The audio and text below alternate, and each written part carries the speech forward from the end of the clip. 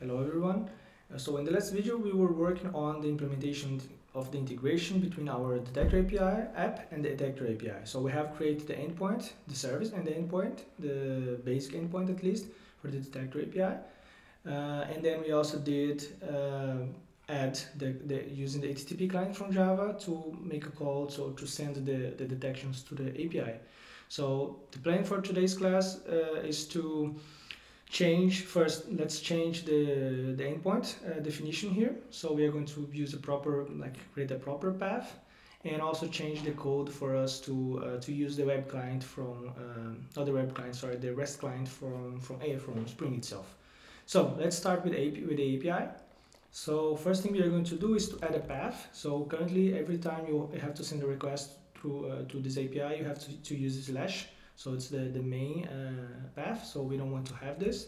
So we are going to use request mapping and then we are going to define slash v1 slash detections. Then we are going to create the detection. So then we have a post created, everything here is fine. That's basically it. So already, oops, let's run without, without debug. Um,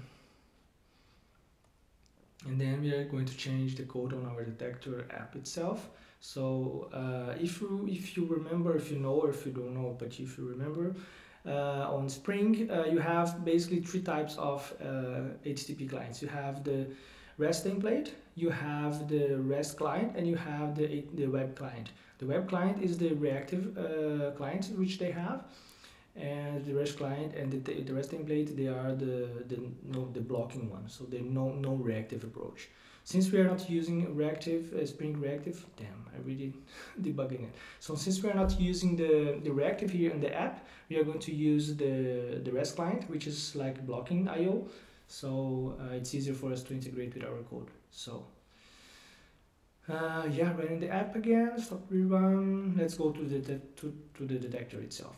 So if you check here, uh, let's try to look for the class REST client. You see that REST client, that's another implementation from, it's coming from some, some transitive dependency which we have.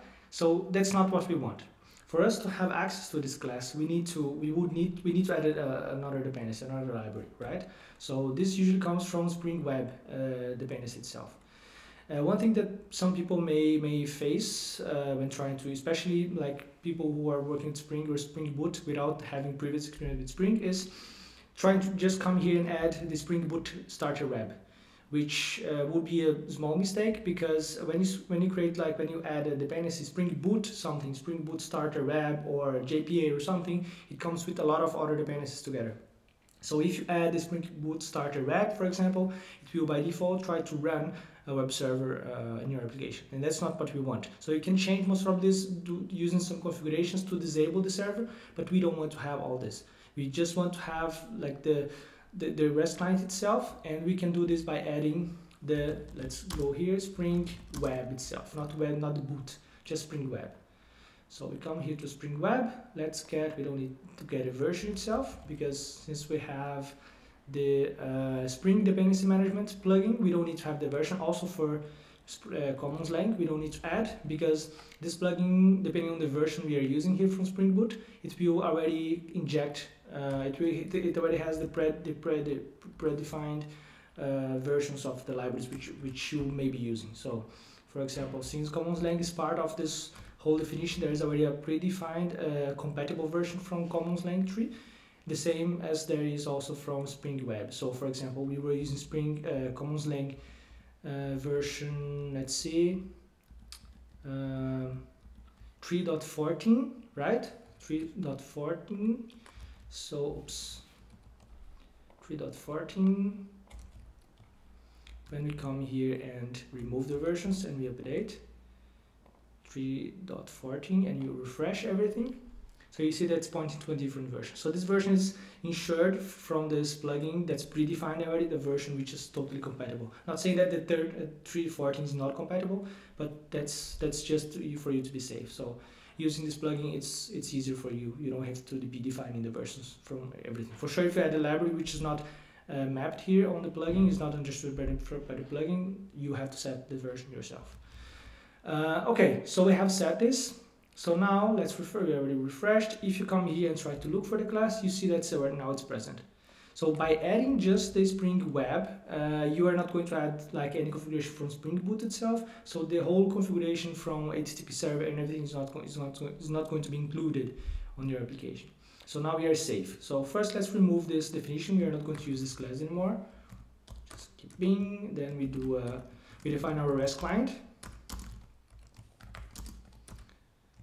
Return new REST or REST client builder.build. Let's also define our uh, base URL. So for now, let's have this static localhost 8080.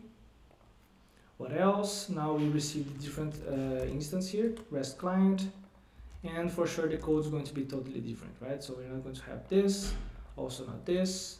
We are going to have a client dot post dot uh, URI, then we are going to have here um, slash v1 slash detect detections.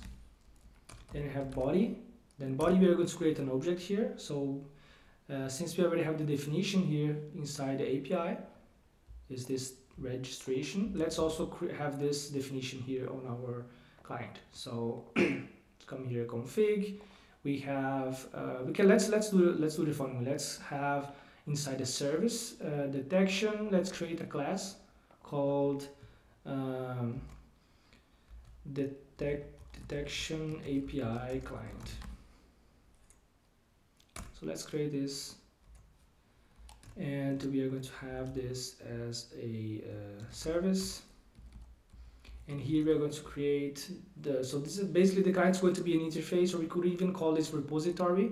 We can we can let's let's make it repository to make it like uh, uh, simpler for us because in the end it's a repository. It's a place where we're going to store uh, a detection. So let's create a repository here and then create a um, detection repository as an interface then let's define a method which is going to return a detection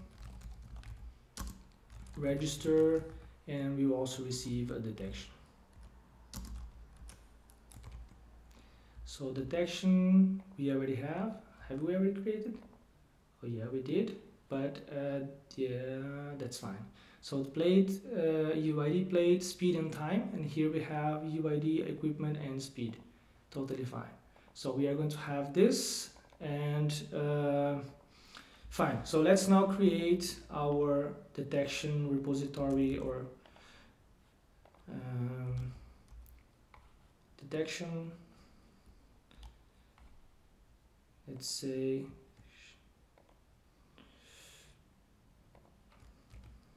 API based or API based detection repository. Let's just call API uh, detection repository. Oops why this is no sorry I've selected that wrong. So this is going to implement the detection repository. We're going to implement. And here what we are going to do is let's create a uh, oops not here but let's create the record so the record is going to be part of this implementation itself because this is going to be the definition of the of the data we are going to send to our uh, endpoint. So this is going to be a definition from the client. So this is like a detection client repository, like a detection API client. But I'm calling this repository because it's implementation which is backed by an API. So um, we could even call the REST detection repository. That's also fine. Uh, API, that's more generic. Let's say um, REST detection or external detection repository, whatever. So I won't spend much time on this. Uh, giving names is always complicated. So now what we're going to have is that we're going to move this code from here to there, right? So let's first have the REST client itself. Let's move that uh, to here.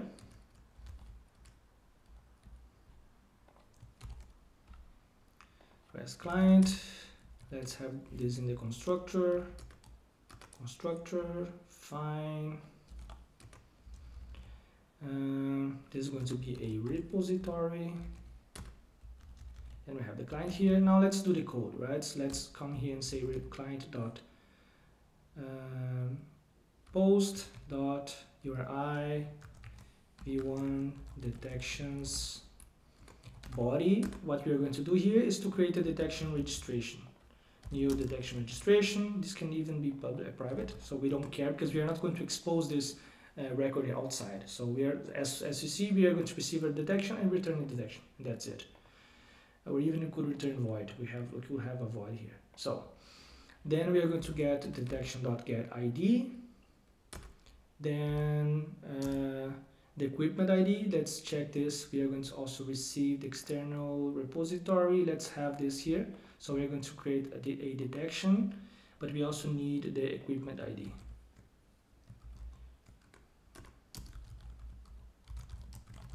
We can have, so since the equipment ID should be global, we can see how we can handle this later. But for now, let's keep this here, so we are kind of flexible. Final UID equipment ID. So we have detection ID, equipment ID, and then we have the speed, which is detection.get.speed. Great, so we have this, what else? Then we have retrieve, then we don't care about the body, because it returns nothing in the body, so we do a bodiless entity. It returns a response of um, of void response. So uh, now what we are going to do, we are going to we are going to return the same detection. So let's check if first we can check if the response get status code is equals to status code dot should be created is equals to this. If this is fine then we return our detection. Otherwise we throw an exception new uh, HTTP most probably have some X error or um, let's call it uh, yeah we don't do anything. We can if it's a 4 yeah it's a 5 it should be um, let's do a runtime exception. We can refactor that later as well. Unexpected response from server so by the way, if this is like a 400 or 500, uh, it's going to be a problem for us because there will be an, exception. So it's not going to come here, the code itself. It's going to just throw an exception. So the point's like if it, by any but for any for any reason the API changes and start returning 200 instead of 201, we can get this and throw an exception. But I'm thinking right now I don't think it's really necessary. So let's just stick with the simplest. So if it's not a 400 something or 500 something, we are fine and we are not going to do anything. So just throw this, just uh, make the call. If it doesn't throw an exception, we, we consider this as a successful request and response. Fine, so now what we are going to do, we have this. Let's have here our, uh, now what we do here, we return, we receive the repository itself. And here what we are going to do is to call the repository. So remove all this code here and we do a repository.register and we have the properties.equipment ID somewhere, properties.id I think that's it, right? Yeah, that's the equipment ID. And then we have the detection itself. Great, so we, re we register here.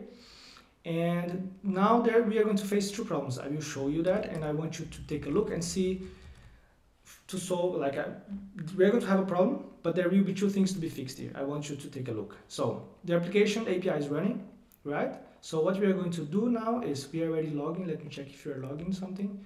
And here we are not logging anything. Let me create a login here just for us to see if this is working or not.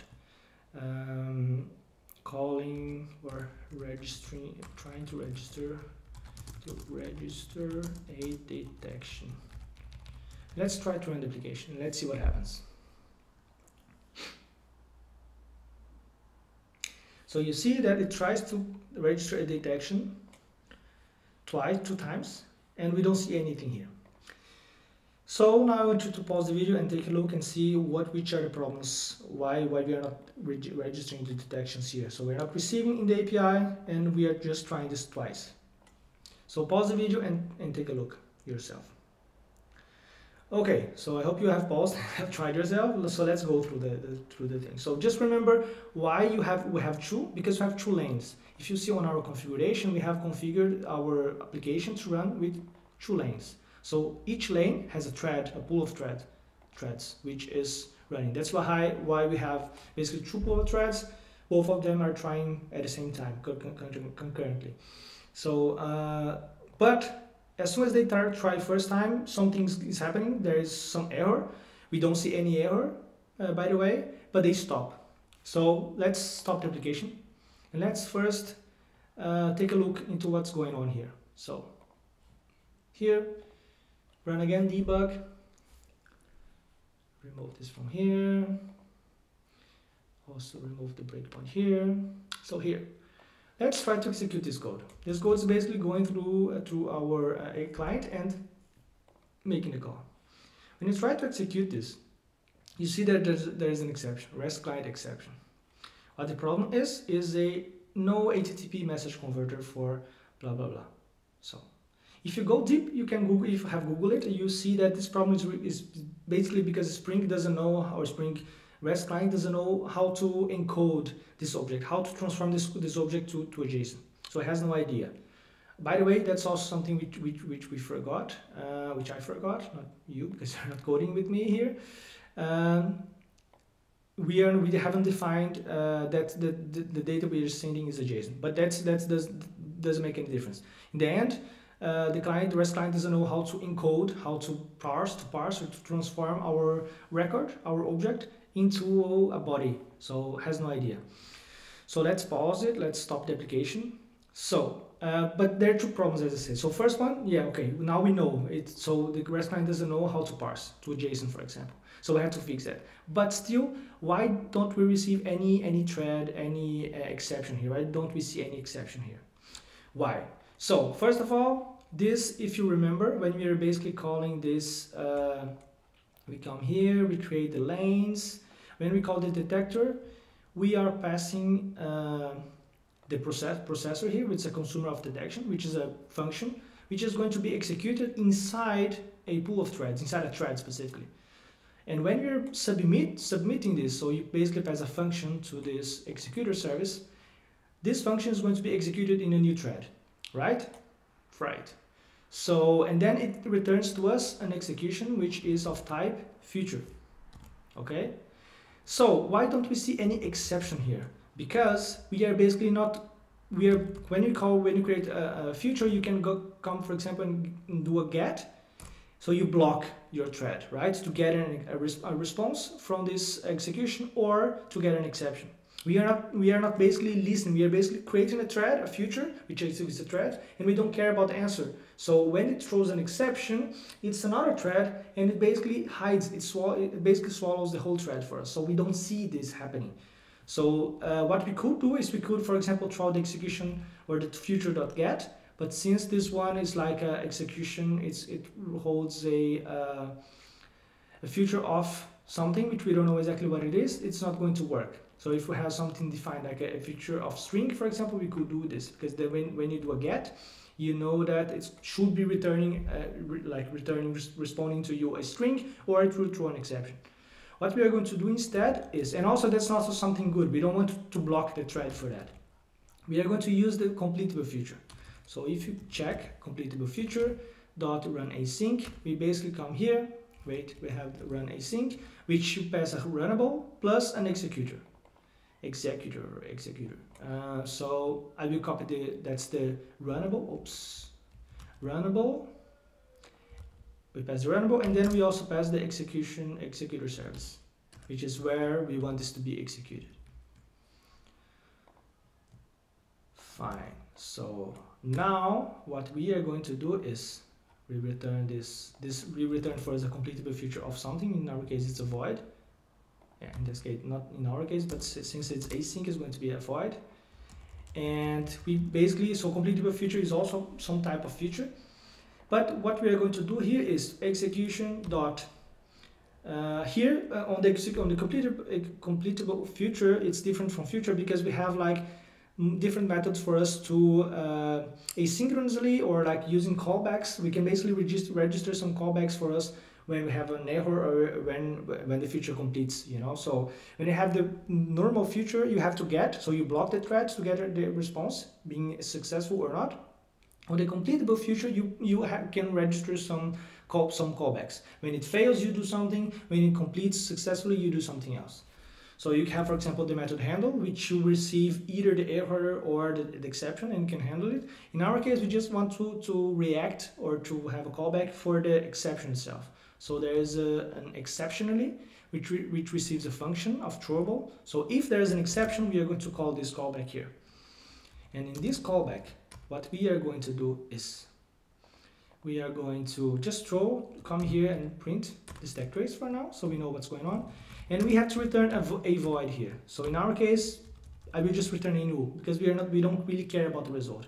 We just want this to uh, be understood as, hey, I'm still running, uh, you know, so that's it. Um, yeah, so that's basically it. So let me think again. So here we create the execution, which is a completable future. We register or we set the completable future here. When it starts to run, we check, we check if this is not null. In fact, this let, let me do some refactoring here. Final var running.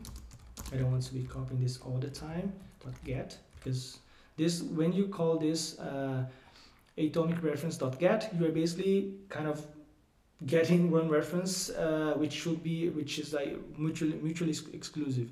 So you should not be calling this all the time. So we call it once we get the, the the reference of this and we check if first this is null this is wrong. So if this is null or uh, it's not cancelled then we run this because it could be that this executes so fast before this i don't know let's just confirm if it's this is not null or uh, this is not cancelled then it's going to be running this uh, what else? Then we set exceptionally. Oh, fine.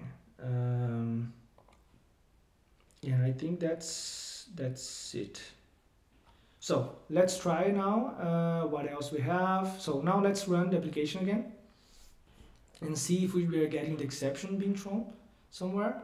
So now you see that the, the, the exceptions is being uh, thrown here. So you can see the exception there. So now we can see that the exception is not being uh, uh, swallowed, swallowed, right? So that's one important thing for us. But still you see that even though the exception is there, it, it throws the exception, we are not recovering the application. So the application, for example, let's imagine that detection detector API is down for five seconds. And when you call this uh, and throws an exception, for example, this guy here throws an exception, you know you want the application maybe to stop for five seconds and try again right? That's something we are going to do this uh, on another on another another video otherwise it's going to be too too too long.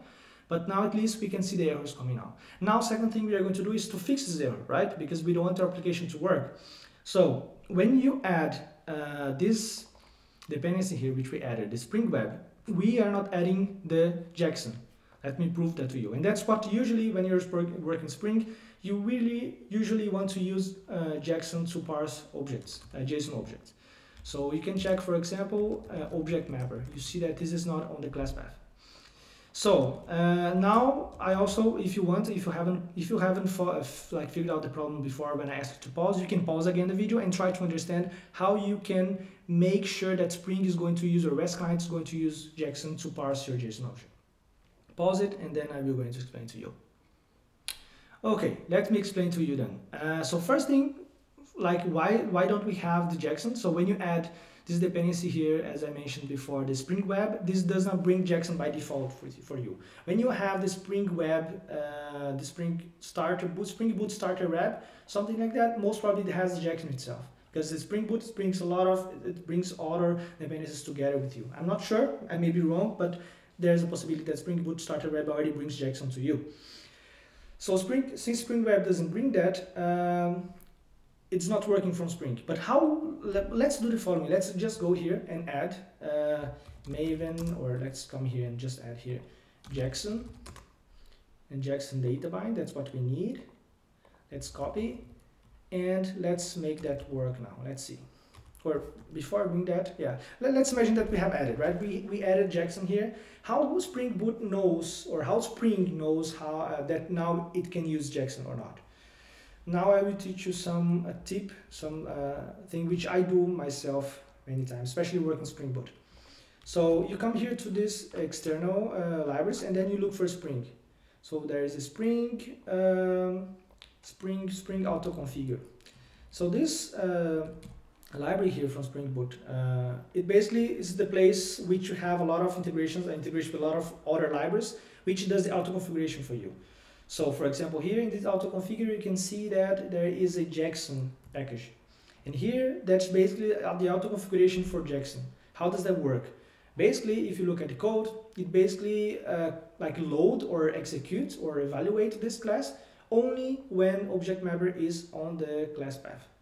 So if object object mapper is not on the class path, this this this object or this class is not is not going to be, to be executed. It's not going to be loaded to the to the to the application itself. So all this logic here won't be executed. But when you come here and say, hey, let's let me add Jackson, so as a as a library as a dependency for for my application, let me restart now it's here not uh, not sorry but like uh, refresh the, the, dependencies. And uh, now if you come to the application let's see what was what was checking before. If you come here and try to look for object mapper you see that now this is here on the class path. Now I will put a breakpoint here to see if this is going to be executed. If you can do this remove the the, the, the, the library here and then execute and you see that's not going to be execute this code here but I added, now I'm going to debug. And you see that the, this object mapper is on the class path and this, this code here is going to be executed. Executes. Now you see here. Now let's just execute this code. And you see that now it's working fine. So basically Spring understood that Jackson is there on the class path, made the binding between the REST client and say, hey, REST client is a JSON, please use Jackson by default. And that's it. So now your application is working fine. That's what we wanted. And now we did this more refactoring as well. Let me stop here. We did this more refactoring. We created, we, we basically moved the logic for making the calls or re register, register the detections into our repository. And we have less code on the configuration, which is already bad here because we are doing some logic on the configuration, which doesn't make much sense. So we need to also extract this logic at least this logic here, create a detection and everything, we may extract this to somewhere else. But that's it from this from this from this video. Uh, I hope you liked it. We haven't done any tests yet. Also, I don't want to make the, the, the video longer. Uh, it's already it's already quite long. Um, but next class, what we are going to do is we are going to do some refactoring on the code and uh, we are going to do some validation on the API as well because now as you remember there's no validation in body if you send like a invalid body it's not going to fail anything we are going to next class do some validation on the on the API uh, to, to validate the body. We are also going to add some documentation uh, to, to use Swagger to, to create some documentation for our API. And then we are going to move forward in the next videos to improve the code from our detector app and also detector API. So I hope you like that. Uh, I will also post add on the description the, the link of the, the code in the GitHub, which you can see um, how, the, how was the repository, how was the code before we started to do this, this uh, coding exercise or this coding on this video, so you can follow up and you can do yourself. That's it. See you in the next video. Bye bye.